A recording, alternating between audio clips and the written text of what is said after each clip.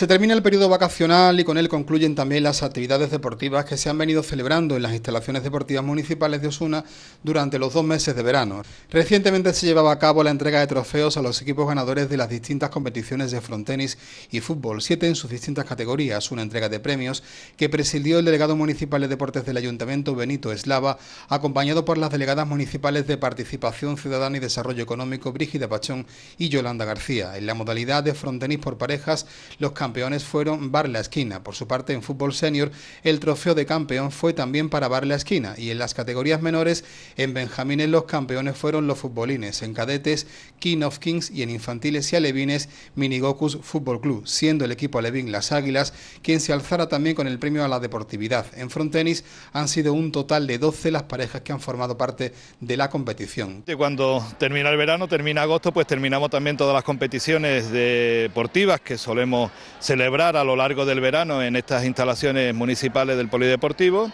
y hacemos entrega, por tanto, eh, de todos los trofeos de los campeonatos, tanto de fútbol senior como del fútbol de, menores, que se han ido desarrollando a lo largo de, empezamos a mitad de julio, calculo, y hemos ido desarrollando a lo largo del verano. Primero fue el torneo de fútbol sala, que siempre es el, el primero en arrancar, el primero en terminar, y ya después comenzamos con el fútbol, con el fútbol 7 y durante todo el verano, hasta que ahora hacemos la clausura con la entrega de premios y con los partidos de tercer y cuarto puesto y de finales, pues se han ido desarrollando en nuestras instalaciones. Y también el torneo de fronteni, que tiene pues mucha aceptación porque precisamente esta pista de fronteni que nos encontramos es una de las que más uso y ocupación tiene a lo largo del año en estas instalaciones y la verdad es que bueno, pues un nuevo éxito de participación que cada año pues vamos teniendo en, en estas competiciones. Como ha destacado Benito Eslava, tanto el frontenis como el fútbol 7 son dos clásicos en el verano deportivo de Osuna.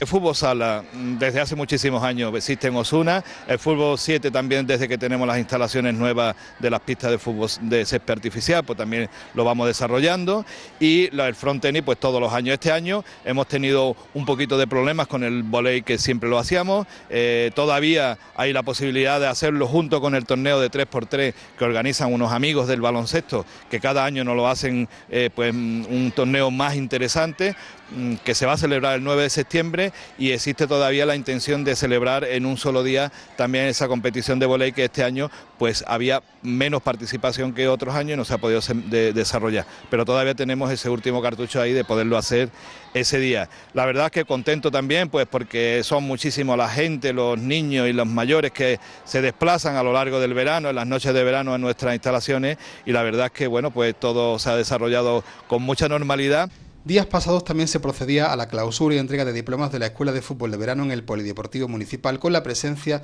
de los tenientes de alcaldesa Benito Eslava, delegado de Deportes, y Asunción Bellido, delegada de Juventud y Educación, así como de la delegada de Política Social del Ayuntamiento de la Antejuela, María José Castillo, localidad vecina, donde también se ha desarrollado esta iniciativa deportiva. Más de 200 niños y niñas han participado este verano en la Escuela de Fútbol de Verano que dirige el técnico de fútbol y el futbolista David Anaya en colaboración con el Ayuntamiento de Osuna así como el de la Antejuela. También clausuramos las escuelas deportivas de verano, que es la primera edición, porque estas escuelas deportivas de la mano de David Anaya, pues se venían desarrollando en, Osuna y en otros municipios a lo largo del verano, pero este año pues hemos querido darle un enfoque y, hacerlo desde el paraguas de la Delegación de Deporte. Eh, nos pusimos de acuerdo con, David y hemos desempeñado por primera vez unas escuelas deportivas de verano que la verdad es que han sido un éxito rotundo porque ha habido en torno a 200 niños cada mes y por tanto seguimos, continuamos ese trabajo que hacemos a lo largo del año